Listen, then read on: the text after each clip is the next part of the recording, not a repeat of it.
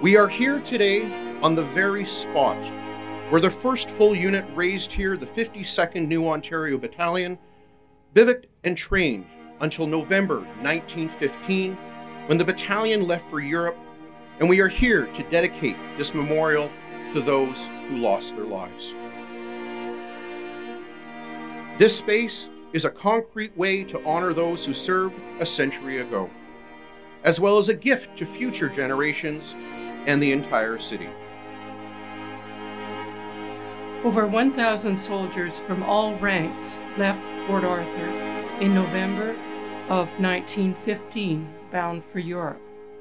By war's end, about 4,000 soldiers had passed through the 52nd Battalion.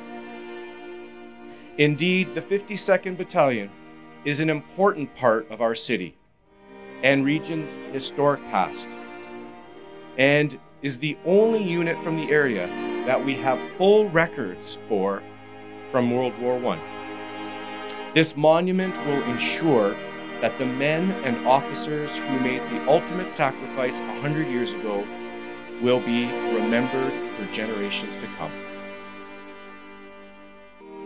The 52nd Battalion gave us 18 battle honors, over 300 decorations for bravery, including one Victoria Cross. Gave us our regimental colors of royal blue and French gray, and our motto, Inter Pericula Intrepidi, which translates as fearless in the face of danger. We all know the 52nd Battalion from the pivotal chapter in the history of Canada uh, and as part of the perpetuation of the Lake Superior Scottish Regiment. That chapter is marked with great achievement, but as I learned in battle as a commanding officer, it is especially marked with great sacrifice. The sacrifice of thousands of soldiers from northwestern Ontario who volunteered to serve their country and never returned or returned badly wounded both physically and mentally. Please come and visit this serene and beautiful place on other days. Come and see the poppies. Watch the leaves fall and the wind blow. Have a seat on the bench and reflect. Bring the children and tell them the story of the people named here, lest we forget.